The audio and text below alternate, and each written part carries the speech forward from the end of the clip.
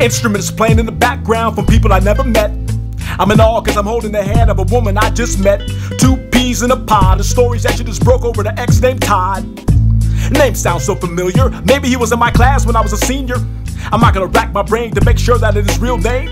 All I know, he had a treasure and he threw it in the trash. I was feeling blue, so I went in the dumpster to find you.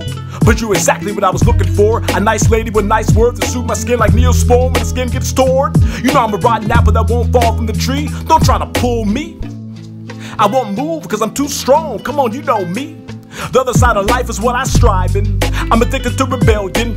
When I found you, you was lost like fucking Gilligan. And what did I do? I put the clothes on your back, made your smile come back, took away the pain that made you cry. I mean, I'm a grateful guy, believe in freedom. Wheeling and dealing, feed your belly at any means necessary. Starvation is necessary for the appetite to grow. Survival of the fitness, you know I've been playing this game for a long time, so I'm winded. But you, you, no excuse how I've been treated. You could've warned me before we locked eyes. I'm a cocky guy. All I had to do was smell your perfume to start my pursuit after you. Now the time has passed. I don't remember the smell. There's a sound of broken glass. That's when I found out about your past. You said Todd was still in your life and he's your main squeeze. So I asked, where is he? And you replied, he's with me. Then you gave me a long stare. You do remember that stare, right? That stare was so cold, like a last on this coldest night. At that point, right then and there, I knew something wasn't right.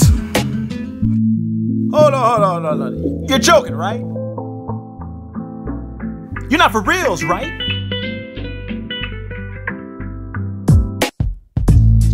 Where is he? Bring his ass out so we can fight. I'm gonna shut his lights off tonight. Then you tell me you don't know me, right? You wanna meet Todd tonight? You put out a long handle from your satchel, he was chrome plated. Todd has been waiting to meet you, he's been so patient. Lady, don't make me bring out that new weapon I got from my organization. Wait, are you from that same organization? Rage kicks in, I flip the tables, dishes smashing. Respect is what we both chasing. But I don't wanna harm you, you the love of my life, and I don't want ours to end like Romeo and Juliet life did at the end.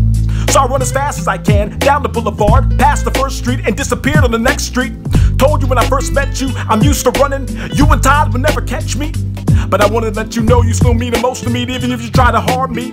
And by the way, I do know before you met me, you inspired from that organization. And rumors are you running around like a loose cannon. I'm as deadly as it comes, but I gave you a chance of freedom. I wish you could throw Todd away and leave him. Hope we're traveling different roads and paths, back to my lonely path. This is just a warning, I just hope me and your friend will never cross paths.